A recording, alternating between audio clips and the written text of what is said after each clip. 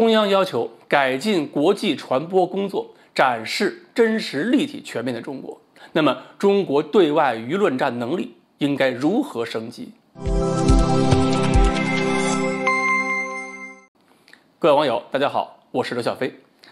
五月三十一号呢，出现了一个重要的新闻啊，就是中央政治局集体学习。咱们总书记呢提出了要改进国际传播工作，要展示真实、立体、全面的中国，并且呢提出了一系列非常详细的要求。那么在这个消息出来之前呢，前段时间我关注了几个事儿，一个是美国那边呢民意调查，接受调查的民众百分之九十的美国人呢对中国开始带有怀疑甚至是敌意；另一个呢就是我们说过的澳大利亚民间对中国的敌意越来越强，包括卖的饼干，一看这个中国造饼干都集体不要。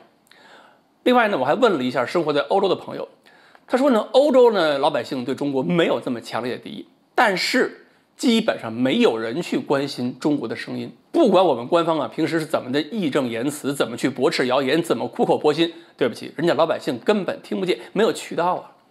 另一方面呢，我们国外这么多孔子学院，现在呢好像维持的也不够意思，被人家关了不少。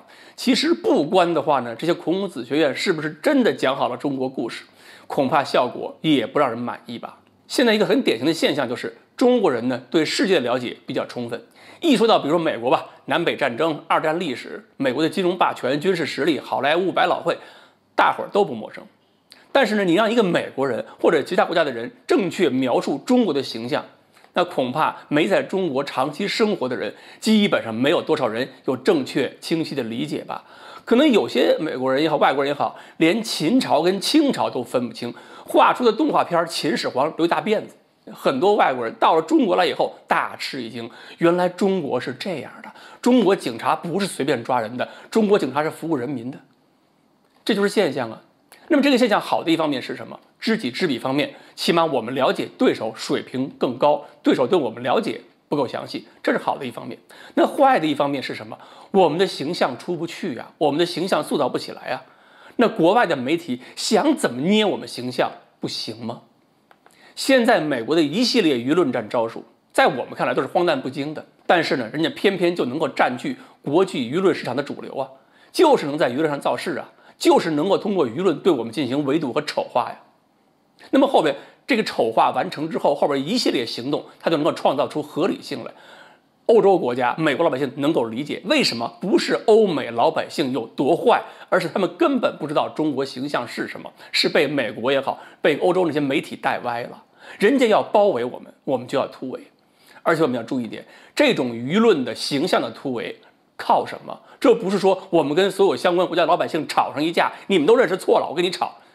这种吵架实现不了突围的目的，反而吵的水平如果不好，选择对象选择错误的话，吵完了还增加了国外老百姓对中国的对立情绪，那反过来还是配合了美国对中国的围堵。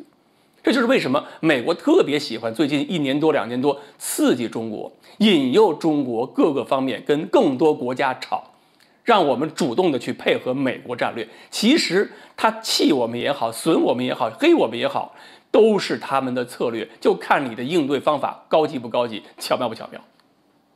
这次呢，中央提出来了，要深刻认识新形势下加强和改进国际传播工作的重要性和必要性。这句话已经很重了，已经强调紧迫性了，时间紧，任务重，而且很明显，这次中央的声音说得很清楚，就是要破这个局。你美国要引诱我犯错，我就不能犯这个错误。你要破坏我的形象，我就必须要维护我的形象。你让我跟别人吵，对不起，我就要用舆论战的方法，改善我的手法，去塑造中国的好形象。怎么做呢？这次你看，政治局方面有明确的要求，必须加强顶层设计和研究布局，就是要形成体系了，不能像以前一样即兴发挥了吧？要有整体的章法。那么文件原话是怎么说的呢？要加强国际传播的理论研究，掌握国际传播的规律，构建对外话语体系，提高传播艺术。什么意思啊？就是我们说的话得让别的国家的人能够听得去、听得懂。我们如果再自说自话，用我们过去的语言自我感动，空话套话说一大堆，以后不行了，真得说点入脑入心、让别人懂的话了。而且要求要有形象亲和力。还要把握好基调，既要开放自信，也要谦逊谦和，努力塑造可信、可爱、可敬的中国形象。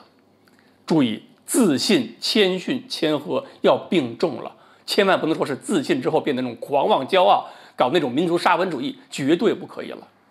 还有这个建强适应新时代国际传播需要的专门人才队伍，说明以后你不懂传播专业也不行，不会说话也不行，说话说不通，让别人听不懂，白说。特别提出了要贴近不同区域、不同国家、不同群众受众的精准传播方式，推进中国故事和中国声音的全球化表达、区域化表达、分众化表达，增强国际传播的亲和力和时效性。要讲究舆论斗争的策略和艺术，提升重大问题的发声能力。说明什么？还是要入脑，要入心。那么你要说的话能够在对方那儿入脑入心，前提是我们自己这些艺术水平要提高。不仅是艺术水平要提高，我们在发出任何声音的时候，我们的态度、我们的这个想法都要注意。我们自个儿得用脑用心。以前我们做节目也说过呀。我们的媒体也好，我们的网友也好，千万不要二极管思维啊！一说欧洲人，欧洲人全是坏的；一说西方人，全是假的。不能这么干吧？要团结一切可以团结的力量。欧洲也不是铁板一块，美国也不是铁板一块。要相信中国的发展是有能力吸引更多国家的。不要一看所有国家就是到中国骗了钱，又投靠美国去了，中国就这么没有吸引力吗？等于我们现在很多人认为中国就是没有吸引力的，美国就是有吸引力的，所以他们会认为这些国家到中国骗了钱就会跑掉。而中央这么高规格提这个事儿意义有多重要，我们应该不用再说吧？中央也提到了信心的问题吧？所以如何理解中央这个说法，不仅仅是有关部门需要好好思考的。网络时代，每个人发的声音都在发挥不同的作用，所以每一个在网络上发声的人，恐怕都要想清楚。斗争策略、斗争艺术，如何对外发声？你发出的声音对中国的战略安全环境有多大的影响？有多少意义？这都是每个人以后的责任了。好，中央政治局关于中国形象传播的相关指示应该如何解读？我们今天就说到这里，欢迎大家继续关注我们的栏目，我们下期再说。